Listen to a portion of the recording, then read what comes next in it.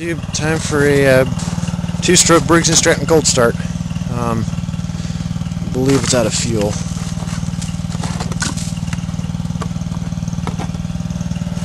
Yep, she's dry. So we're going to throw a little bit of fuel in her. And I'll show you that she's cold and then start her up. It's probably good.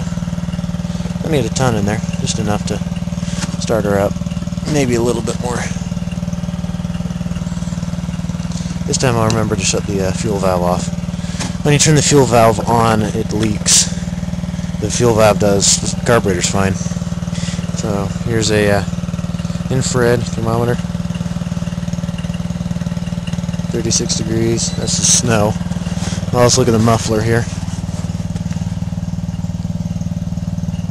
38 degrees, 37, you know, 30, 40, 41. Goes up a little bit there. I haven't started this in a while. You know, 36 degrees. So, I'll start her up here. Full choke. And it's usually first to second pull it usually starts.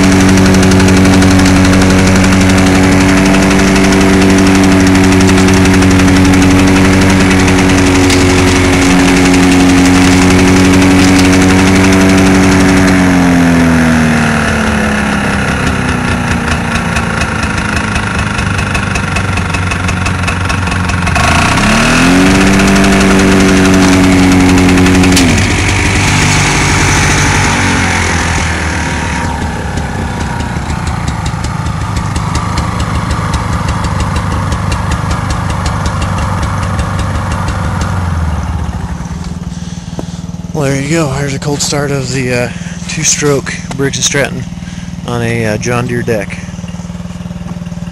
Four-horse two-stroke. Cool. Hope you have a good one. YouTube.